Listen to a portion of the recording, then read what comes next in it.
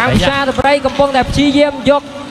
ពឹសរបស់ខ្លួនចាក់ទៅទៅលើក្រុម Gold Sport Drone ហើយខណៈដែល Gold Sport Drone កំពុងតែព្យាឆ្វែររំមុំវាយទៅលើក្រុមផ្សារតប្រៃដូចគ្នាកន្លែងនេះចូលមកគៀនមានអាការវាយផ្ទុំរីយ៉ាងណាបាទហើយសិនអត់ចូលទេបាទហើយចាចូលគៀនអាយកពីខាងក្រោយតែម្ដងបាទវាខាងក្រោយហើយបាទជាបត់គ្រោះថ្នាក់របស់ខាងខ្ចាត់ដំរីមានការថយវាយថយវាយដូចថយវាយមួយថយវាយយកតែម្ដងថយមួយអុកមួយអ បាទថែមួយអុកមួយអីថយមួយអុកមួយវិញខ្ចាត់ដំរីថយវិញអូអូយជើងអង្គស៊ីលោហើយមកហើយអង្គស៊ីមកមកមកមកបាទខាងខ្ចាត់ដំរីគាត់កំពុងតែព្យាយាមរកកលៈរត់ចេញឆាដំរីកំពុងតែគៀងគៀងរកកលាក់ដើម្បីដោះខ្លួនចេញពីក្លេរបស់ខាងយ៉ា Ghost Spot Drone ខណៈដែលក្រុម Ghost Spot Drone កំពុងព្យាយាមវាយសម្រុកទៅលើក្រុមខ្យាដំរីដូចគ្នាកន្លែងនេះលឿនពេកយ៉ាងណាដែរមានការឆ្វែលចុះឆ្វែលឡើងអីយ៉ា អូស្វតត្រយ៉ាងម៉េចហើយរកកន្លែងស៊ីខ្ចាត់ដំរីបានថែមទៀតដែរទេចំណែកក្រុមខ្ចាត់ដំរីកំពុងតែព្យាយាមរកអីយ៉ាអូវាយយកពីក្រោយតែម្ដងបាទកន្លែងបានេះទថយបុកថយមួយបុកមួយថយមួយថយបុកមួយមួយមួយបាទថយមួយយ៉ាខ្ញុំឃើញថាគ្រប់ក្រុមរ៉ូបូតដែលជួបគ្នានៅក្នុងថ្ងៃនេះគឺមានតម្រង់វ័យយ៉ាងកាច់សាហាវខ្លាំងមែនទែនមានការស៊ីទៅលើកង់បាត់ទៅហើយប៉ុន្តែមាន cover ការពារមិនជាអ្វីខណៈដែលក្រុមខ្យាតប្រៃកំពុងតែរកចន្លោះដាក់ពឹសរបស់ខ្លួន ដាក់យ៉ាងណាឲ្យ Ghost Spot Drone មានការរងរបួសដូចគ្នាឥ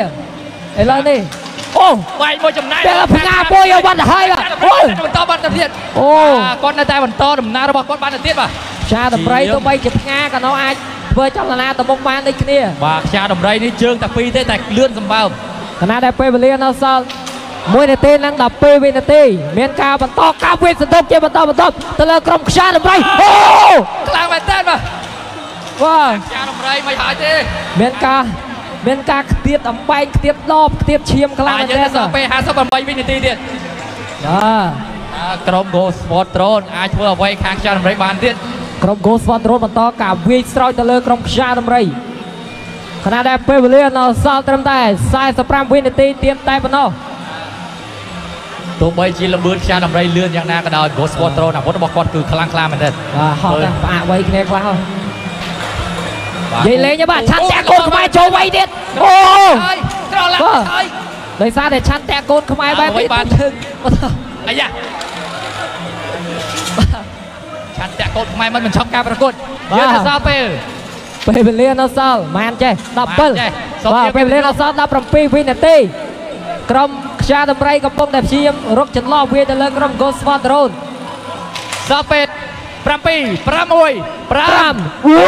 3 2 1អស់ម៉ោងអរ៉ៃឃើញថាការប្រកួតមួយនេះក៏មិនចាញ់ការប្រកួតមុនដែរបាទ